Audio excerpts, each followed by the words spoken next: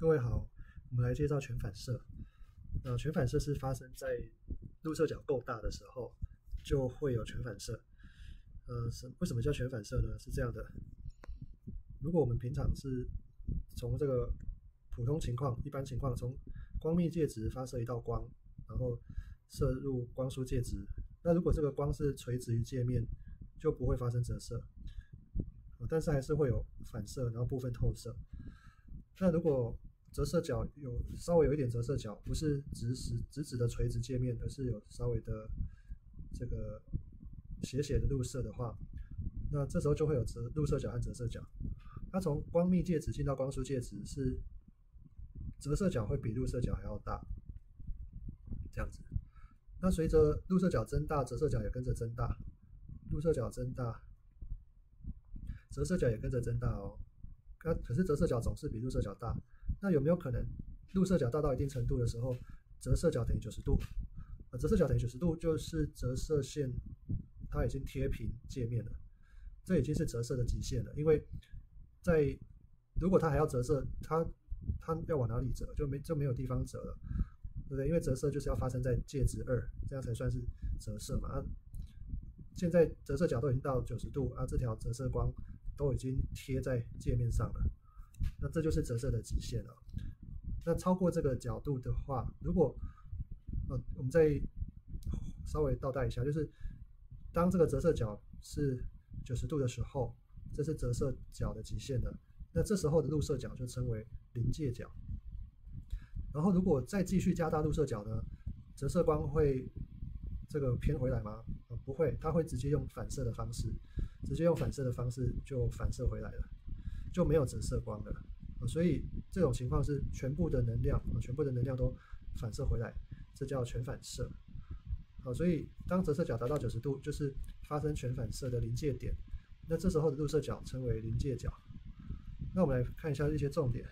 第一个，当入射角小于临界角的话，还没有达到临界角的话，它就是普通的折射，部分折射啊，部分反射。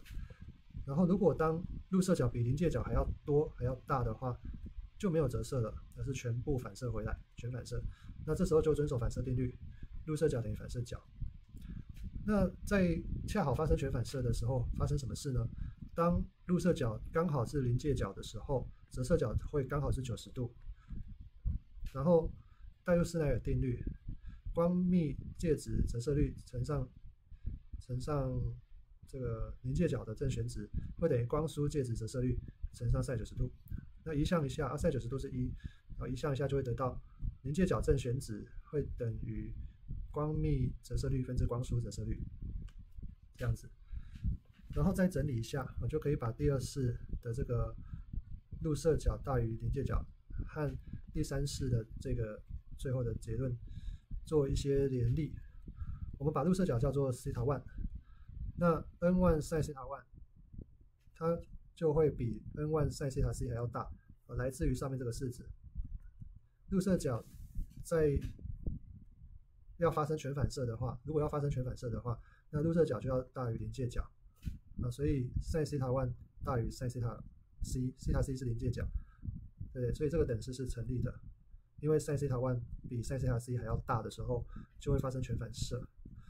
所以我们就写 n one sin 西塔 one 大于等于 n one sin 西塔 c，然后以 n one sin 西塔 c 呢，又可以参考第三个重点，呃，所以 sin 西塔 c 又可以写成这个 n y 分之 n two，所以最后会得到 n two 乘上 sin 九十度，这边的九十好像要换个颜色比较好。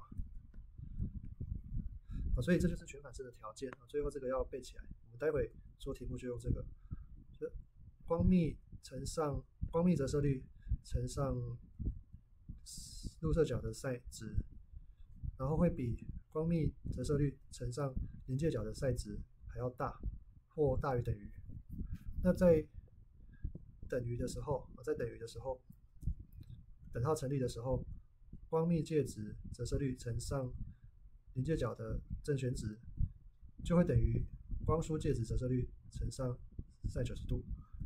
好，那请记得这个式子，我们待会就直接用它做题目。谢谢。